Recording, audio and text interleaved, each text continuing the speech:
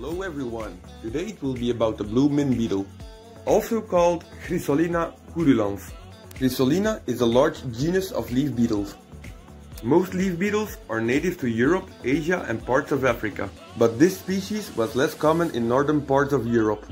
But since 1993, they do appear more frequently. This species of beetle becomes active between May and September, and their sizes range between 7 and 9 millimeters.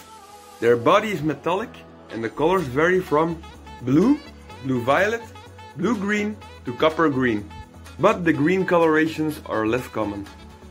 As the name suggests, the blue mint beetles live in groups on mint plants, especially Mentha larginfolia.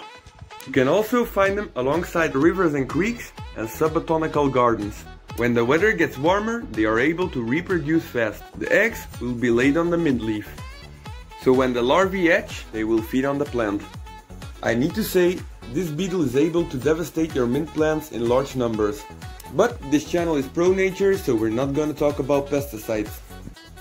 In case this beetle is devastating your mint plant, the best way to go is to cut your mint plant short so it can regrow. Get rid of the cut off leaves and put the beetles on the riverside. There will always be mint beetles, but this is only the case when they are devastating your mint plant. It's always better than killing off the biodiversity.